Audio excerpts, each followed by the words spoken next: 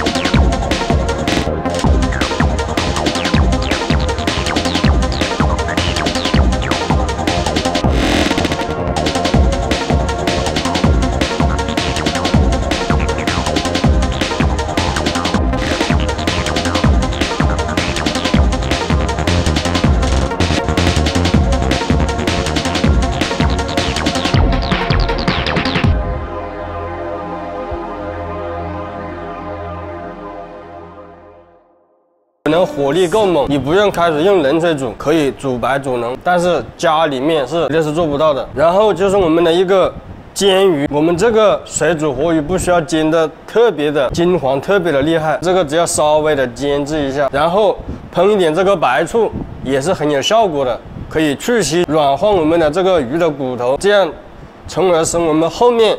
开大火煮的时候，这个鱼的一个肌肉组织和它的一个蛋白质能够充分完全的释放出来，这个汤就会更浓更白。这是一个煮制的时间，至少要煮个四分钟。家里面的话，我估计要煮六分钟，它这个汤就会浓白。最后大家觉得今天这道水煮活鱼做的还不错的，但是记得在视频下方点赞、收藏、转发，然后这个汤够不够浓，够不够白？大家在评论区或者弹幕中打出浓白啊！同时想了解更多香菜的，欢迎关注香菜来。今天的视频就分享到这里，感谢大家的观看，我们下期再见，拜拜。